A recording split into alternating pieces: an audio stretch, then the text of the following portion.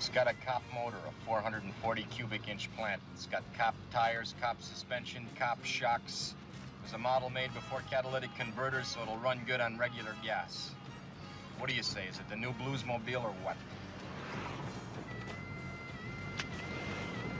Fix the cigarette lighter.